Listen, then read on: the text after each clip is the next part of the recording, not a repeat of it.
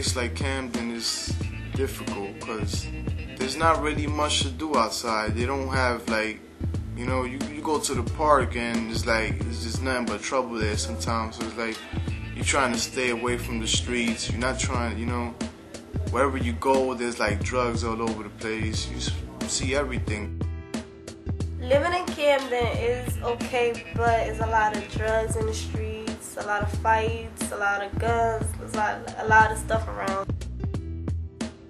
In Cherry Hill, there's it's not allowed drugs. Drugs is not allowed. Um, it's really different from here in Camden. In every corner in Camden, there is a drug dealer. You're not trying to spend any time outside and get caught at the wrong place at the wrong time. So it's like you stay home and then at home, you're not doing anything. You're not learning anything. You're just sitting at home doing basically nothing. So hurt every day, people dying. So you just stay home and don't do nothing at all. You can't even go out and experience new things. That's what his life is like in Camden. There's a lot of things that happen here that make life difficult. But there's also a lot of things that make life possible. And HopeWorks is about focusing and striving for the possible, for the life, for the hope that exists.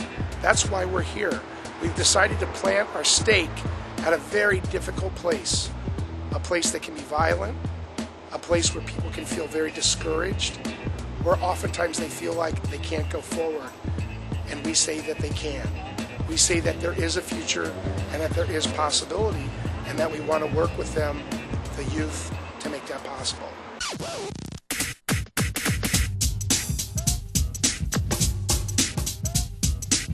My dream is to graduate from uh, Camden County College while maintaining my job at HopeWorks. My dream is to be a pediatrician. My dream, my ultimate dream is to go to college and study architecture.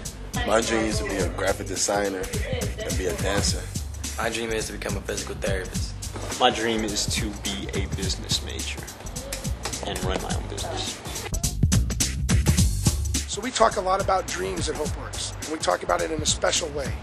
We talk about it as something that's achievable, that it's dynamic, it's real, it's effective, that it makes a difference, that you can see it. These are our dreams. And why do we talk about dreams? Because dreams are the stuff of hope. Hi, I'm Wesley. We're here at HopeWorks today. Right here we have Jamar. Um, we have Janina. Uh, we have Raina. We have Jeffrey doing his work. HopeWorks is a wonderful place because you're learning on your own. You're learning by yourself. You're not. It's not like you're just hearing a teacher lecture you like about oh how you do this, how you do that. You're actually doing the stuff. You're doing the curriculum on your own.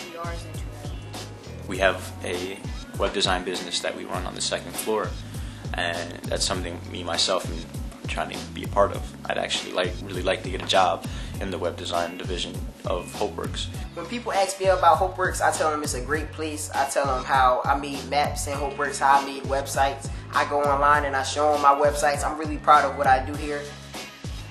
This summer, our project is to make a map of the Camden area. Right now, we are working on fixing the street labels for our map. Basically, we're using a file from ArcMap, which is a satellite view, and we're looking over our streets again to make sure that streets that aren't there are put in and the streets that are there are taken out. Did you do this part today? We provide training, we provide jobs, we provide literacy, we help people have corporate internships, we soon will provide housing for youth. We respond to practical, everyday needs that youth have. Sabrina, tell me about your goals this week. Um, my main goal is to finish out the website. Everyone, y'all know Anthony. Anthony's been here for about a month now, and he just completed Photoshop. What is it that you want to do tomorrow? What's your, your goal? My goal is to get these top, nine timetables and my 12 timetables done, and I'm in my head. You think we can do it by tomorrow? Yes. HopeWorks is a community. We help each other, whether it be through literacy, through our day training program. Basically, we all have the same goal of getting to college. And like a community, we try as hard as possible to help each other obtain that goal. It's a very transparent picture, small picture. For the last year, year and a half, we've been kicking around an idea here at HopeWorks about housing. and how important housing is to the youth that we work with, especially our college bound youth. That oftentimes people can plan, they can have their dream plan, they can be doing all these things to help themselves, and yet they can be living in an unsafe or insecure place.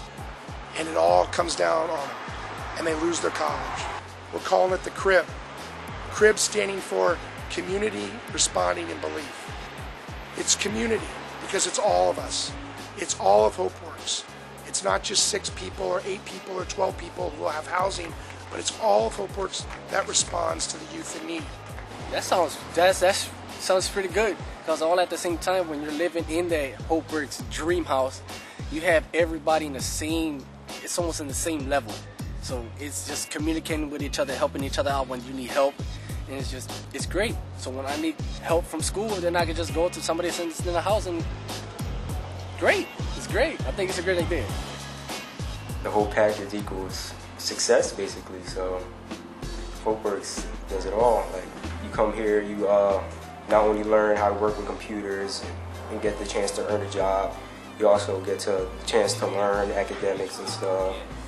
Have one-on-one formation with somebody who helps you uh, talk about your plans. You know, get a break throughout the week just to talk about how your week's been going and stuff like that. So it's all of it in one. When I first came in, I just I fell in love with it to be honest with you because it's like this is a place where everybody who either hasn't had a high school diploma or even a GED should at least try to get into because you're surrounded by so many people who do nothing but encourage you, who do nothing but sit there and like, okay, that's awesome. Let's go to the next step and keep you moving. You know, they actually help you bring stuff structure to a life that has no structure. I didn't think I was gonna have a chance to go back to school until I came to HopeWorks. So this is like a second chance to, for me and for my daughter for me to be successful in my life. What we do at HopeWorks is we actually have to dream and we have to hope for youth when hope is difficult and when dreaming seems almost impossible. We actually believe on behalf of the youth at times. But what's really awesome is to watch it unfold and watch a youth begin to grab their own dream so that they are the ones who become the dreamers. They are the ones who become filled with hope. They are the ones who move into the future. After high school, I want to go to college. That's my ultimate goal to go to college. My dream is to go to college after high school and be in accounting. Go to college at Camden County, get my associate's degree. After there, I would like to transfer to the Art Institute of Philadelphia. My dreams are to, you know, live a successful life, do what I want to do, and complete all my goals.